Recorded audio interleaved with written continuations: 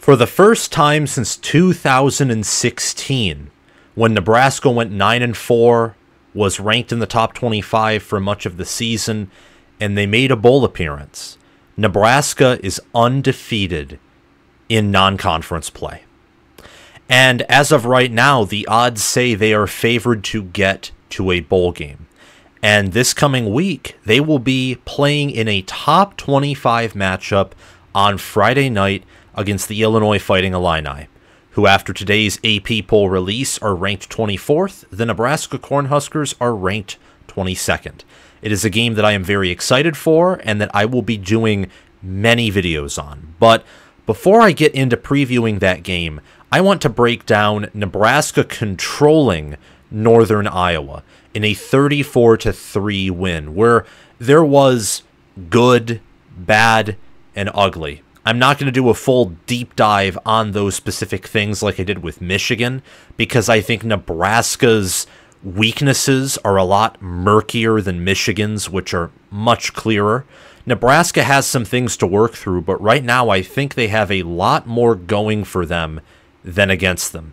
They are definitely a team that is gaining momentum, not a team that's trying to light the fire. But before we dive in, I encourage you to subscribe to the channel click the notification bell, share the video around, and comment your thoughts down below. Yes, you, I want you to like, share, subscribe, click the bell, and comment your reaction to this game. What did you like? What didn't you like?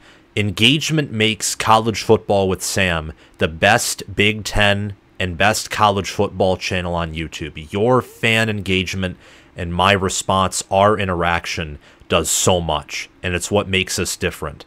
Along with the fact that I do my best to dive in deep for every video, and supporting the channel, you can do that through, again, liking the video and subscribing, which helps us get into the algorithm. And at 20,000 subscribers, we'll be doing a giveaway.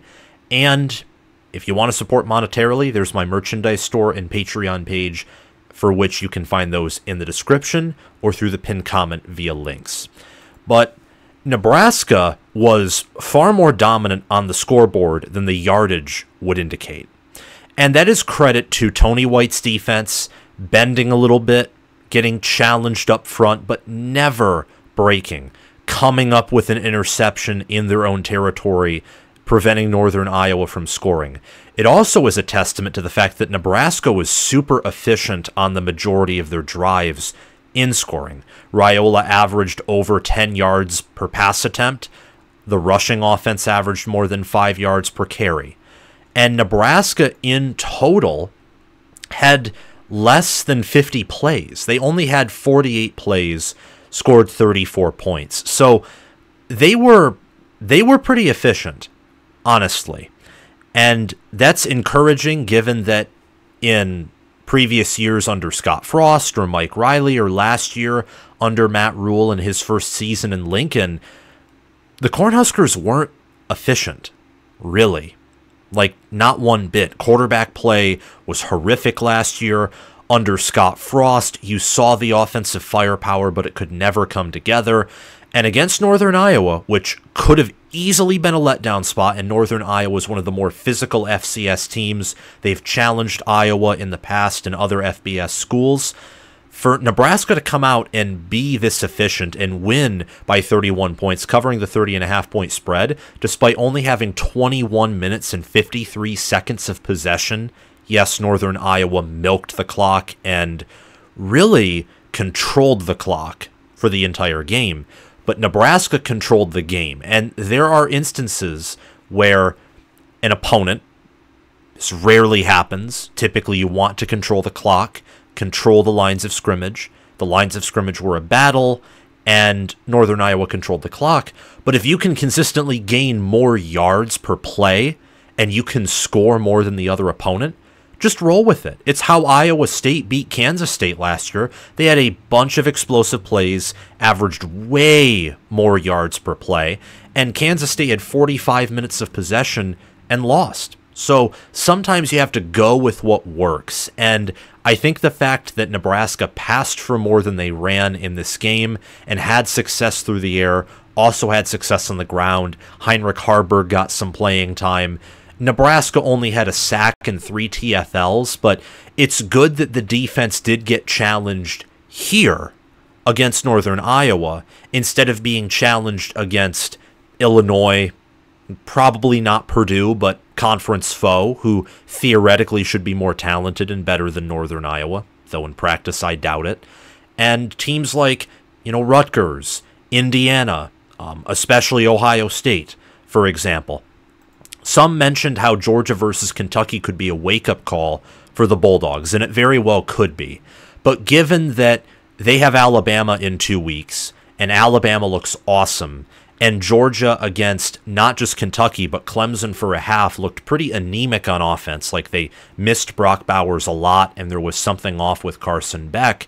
I would say they have some pretty legitimate concerns on offense, like relative to their expectations. Georgia's way better than Nebraska, but their expectations are to win the national championship or at least make a playoff run and compete and play for the SEC championship. Nebraska's just trying to get above 500, like 8 and 4, 9 and 3, depending on how 7 and 5 looks, that could still be a decent to good season, but really shooting for 8 and 4, 9 and 3, factoring in the schedule. The only thing I can potentially criticize about this team, and I think this may be a little bit of nitpicking, but can they be explosive? And by that, I mean opponents that actually matter. I'm not talking about UTEP. I'm not talking about Colorado. I'm not talking about Northern Iowa. Those are outside of maybe Purdue, and I think Purdue has better defensive personnel than anyone who Nebraska's played so far.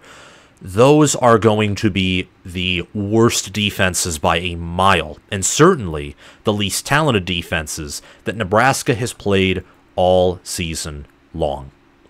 Can Nebraska be explosive? We've seen Dante Dowdle and Emmett Johnson get big runs. We've seen Dylan Raiola and his huge arm.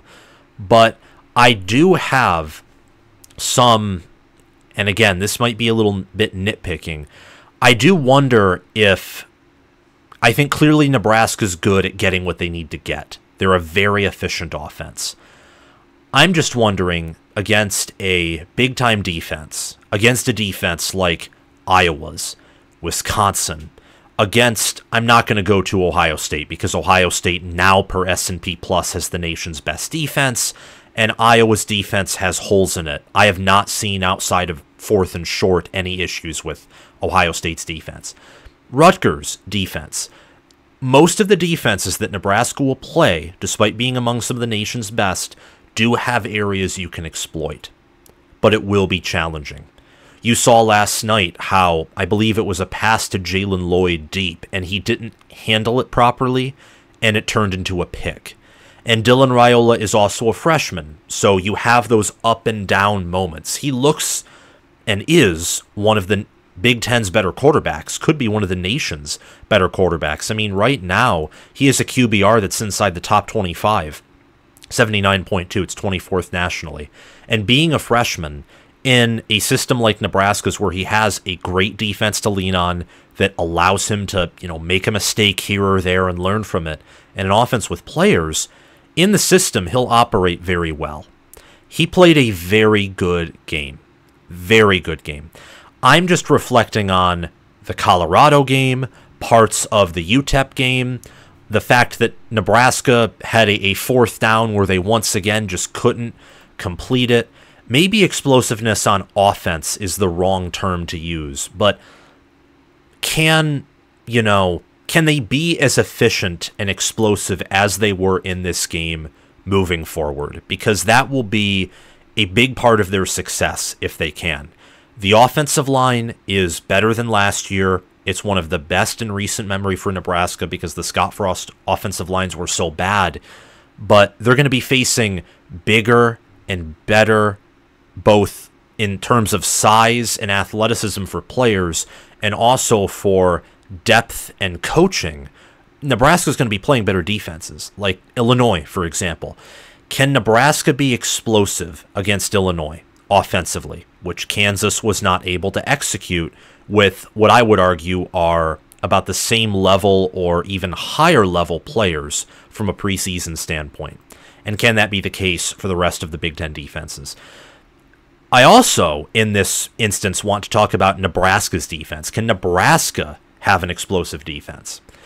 Can they make balanced teams off schedule? That was kind of my idea, mostly for the defense, but but also the offense too, because they have not played a balanced team that can go pound for pound against them all season long. They've had some inconsistencies on offense. And on defense, they let Northern Iowa honestly keep them keep them on the field forever. Northern Iowa had um, 37 carries, 145 rushing yards. They averaged 3.9 yards per carry. And their long rush by Aidan Dunne was 11. So they were consistently getting two, three, four, occasionally five, maybe six yards per pop. And really keeping Nebraska honest. And Aidan Dunne is Northern Iowa's quarterback. He went 13 of 25 for 117 yards, 4.7 yards per attempt, and a pick. So how how does Nebraska do against mobile QBs? Shedeur Sanders has some mobility, but he ultimately wants to, you know, be in the pocket. He only makes plays with his legs really to extend his his potential to throw and, and get a play. And he didn't have the O line or the matchup in the trenches to really run all that much against Nebraska. Northern Iowa is one of the FCS's better offensive lines, I do believe just from watching this game and how they played and how they went pound for pound against Nebraska, and the fact that they they traditionally have done well on offensive line in the FCS. And that's concerning because Nebraska is a team that last year was really good at stopping the run. They were good at stopping the pass, but not to the same degree. And they play, you know, Rutgers, they play Ohio State, they play Wisconsin and Iowa. Iowa has a rushing offense. They may not have much of a passing offense. Yes, it's better than last year's, but that doesn't matter. Caleb Johnson and that offensive line are legit. I mean, he is consistently finding ways to get explosive play after explosive play. Unless he gets hurt, and I hope he doesn't, no one should wish for any player to get hurt. And unless he faces a defense that is elite, elite, like perhaps generational at stopping the run, he probably will not be held to Zippo explosive plays in any given game. I mean, that's just how consistent their ground game has been.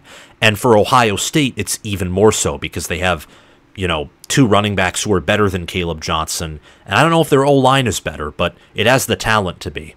And for Rutgers, Rutgers is Kyle Monangai and an experienced offensive line that helped him to have a thousand rushing yards and nearly 10 rushing touchdowns last season.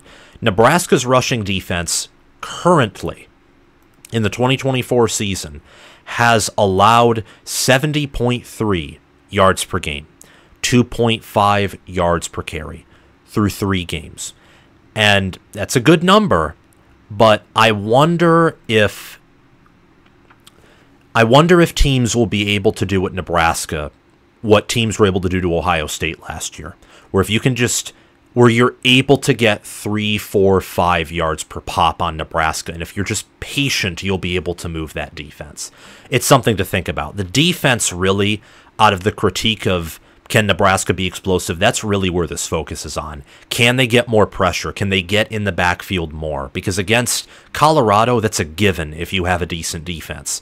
UTEP is UTEP, and Northern Iowa is Northern Iowa, and they struggled to get in the backfield and really shut down that rushing attack. So that's something to look at in the future, and that's also just something to look at against Northern Illinois, who, not Northern Illinois, sorry, against Illinois I don't know how I got Northern Illinois mixed up in here with Northern Iowa and Illinois, but Northern Illinois beat Notre Dame, so and they're also ranked in the top 25. So my mind's on everything college football, but it's also something to pay attention to when you look at Illinois and how they have a good run game, an offensive line that is not good but improved and more experienced than last year, and their defense seems to have caught up to their expectations, where it was horrible and also riddled with injuries last year.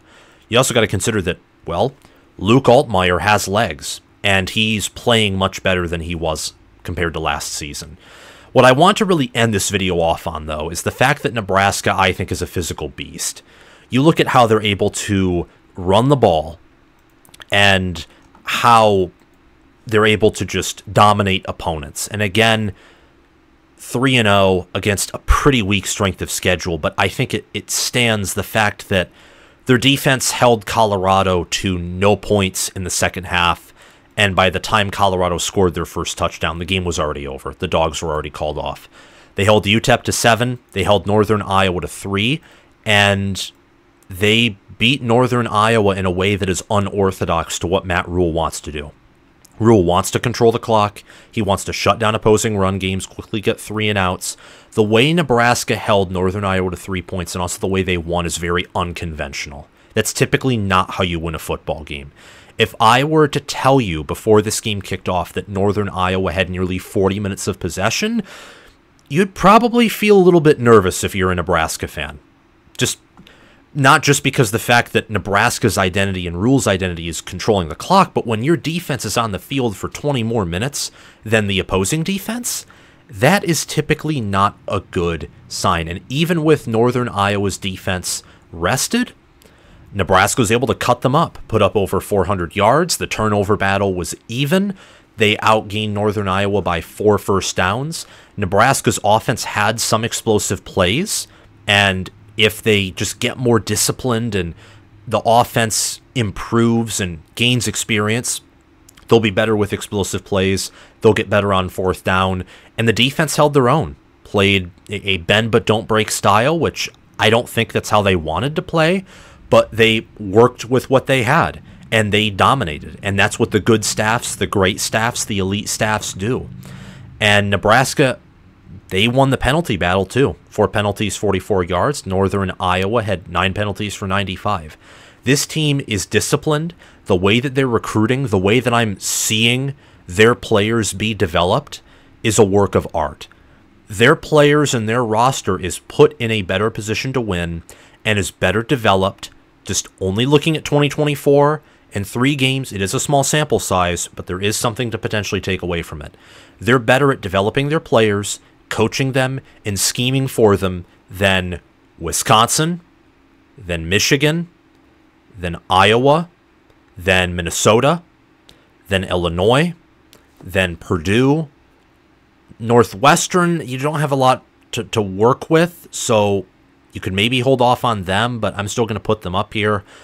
Um, through three games, I think they've done a better job than USC at putting their players in a position to win. USC has played a tougher strength of schedule, beat LSU, but I I don't think that USC, for example, beating LSU is anything special after that South Carolina game. I think that if Lincoln Riley was a good coach, they were going to win that LSU game. Whether he is great or whether he has things heading in a national title contender direction, that has yet to be seen, though I think with the hiring of Lynn, that was already put into motion.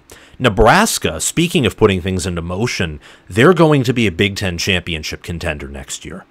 And I want to be careful, but I think that depending on how things shape up in the next month, month and a half, they they could be. They it, it's a long stretch, but it's possible because Wisconsin looks much worse than I expected. Rutgers is about the same. Iowa looks worse than I expected, particularly on defense.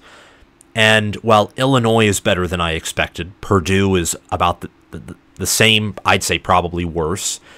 And Indiana, well, I think Indiana's faced an easy strength of schedule, much like Nebraska. Uh, the difference is UCLA is, I mean, they faced, in fact, probably perhaps a slightly weaker strength of schedule. I mean, Colorado would probably beat UCLA based off of what I saw from that Indiana UCLA game and from UCLA for three quarters being shut out by Hawaii despite the talent that they brought back. This team's a physical beast, and while I don't think they'll win the Big Ten this year, and it'll take like it'll take me seeing Nebraska succeeding and playing at a top 15 level before I predict them the following year to win the Big Ten, and that could be the case this year. But they they're they're on the rise. That's really what I'm trying to say. And their staff has done a better job of coaching their players and scheming them and helping them to punch above their weight class. They haven't faced anyone above their weight class, but I'm telling you based off of what I see, the dominance, the way they're able to control games, the fact they don't shoot themselves in the foot, they are on the rise. They're doing a better job than half of Big Ten staffs are at putting their players in a position to win, and better than any staff in the former Big Ten West. So, high praise to Matt Rhule and Marcus Satterfield and Tony White and all the staffers there for the Cornhuskers. My MVP for this game is Dylan Raiola. The pick was not on him. He had a 91.9 quarterback efficiency rating, 247 passing yards, 17 of 23 through the air. He is quickly quickly rising in the Big Ten quarterback power ratings. I don't have specific power ratings in mind, but he's he's rising through them and he's doing a pretty good job. 162.2 passer rating on the season. Only was sacked once, and that was against UTEP. So he's done a good job evading pressure. His line has done a fair job protecting him. And he's a great field general, and he's more than a field general. He's an awesome athlete, and he has a lot of upside to him. He also has a long scramble of 15, and he's been able at times to pick up yardage when it's advantageous. So, Nebraska is a smart quarterback, a strong quarterback, an efficient quarterback.